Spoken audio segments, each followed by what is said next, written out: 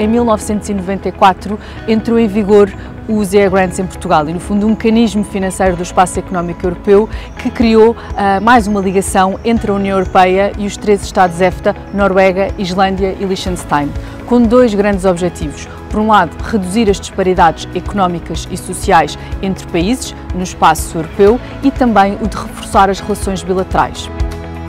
Talking on behalf of Iceland, I can say that we've always enjoyed incredibly friendly relations with Portugal. Uh, they're strong, they're based on our common values, our view of the world, our uh, ocean that is surrounding both our countries.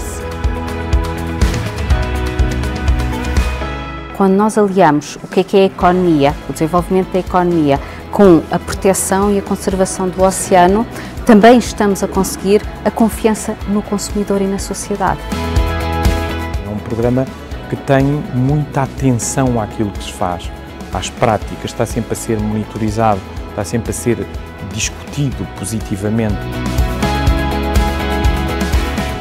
Um programa como o eGrants é um programa transformador uh, e a cultura uh, é sempre algo que liga às comunidades. Conhecer a realidade dos outros, conhecer as soluções que têm para os mesmos problemas só traz vantagens. Ainda que não venham a ser a nossa solução de futuro, eh, ajudam-nos a entender como ultrapassar eh, os mesmos problemas. Os EA Grants têm permitido à Fundação três coisas muito importantes que estão claramente eh, declinadas no próprio objetivo dos EA Grants. Primeiro, robustecer o setor das organizações não governamentais em Portugal. Por outro lado, eh, o programa tem permitido ativar a cidadania ativa. E, finalmente, há uma terceira, um terceiro objetivo, que é, no fundo, a mobilização dos mais vulneráveis, que é garantir que ninguém fica para trás nesta corrida.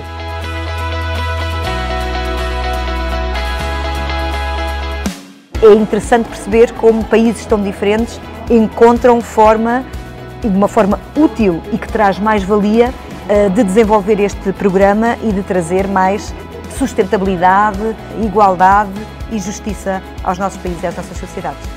So our common European values uh, are at the heart of this. That's why we manage to work together so well, because we dream about the same things. We want the same things for our societies. We want to be inclusive. We want to leave no one behind.